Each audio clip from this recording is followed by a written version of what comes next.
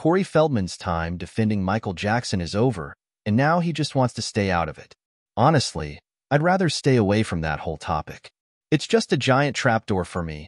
The Stand By Me and Goonies actor tells Entertainment Weekly when asked for his thoughts on the controversy around an upcoming biopic on the late king of pop, which a lawyer for Jackson accusers has called propaganda.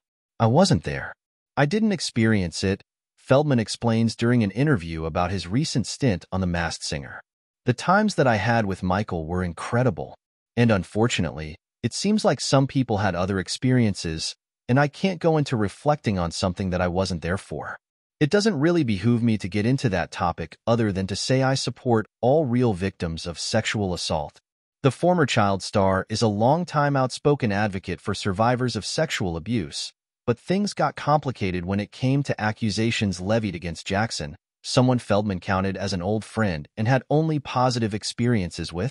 After sticking up for Jackson for years, Things changed after Feldman watched HBO's 2019 documentary Leaving Neverland, which detailed the stories of two men, Wade Robson and James Safechuck, who alleged that the singer sexually abused them as children.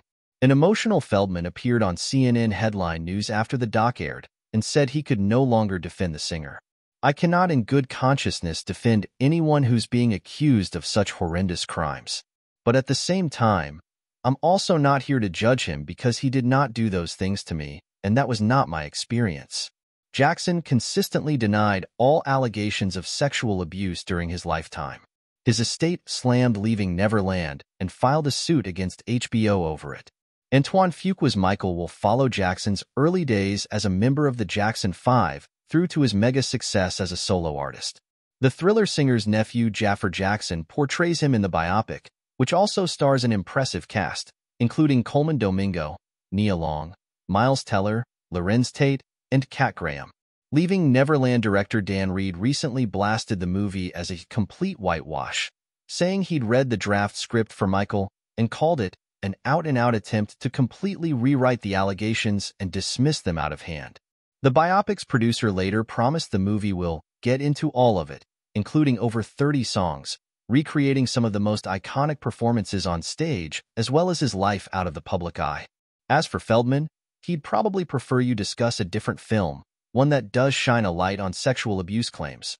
His 2020 documentary, My Truth, The Rape of Two Coreys, which exposes the men he says sexually assaulted him and his late friend Corey Haim when they were child stars.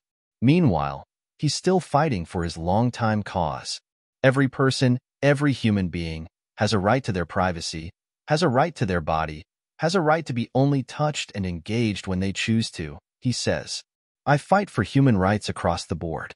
Women, children, animals.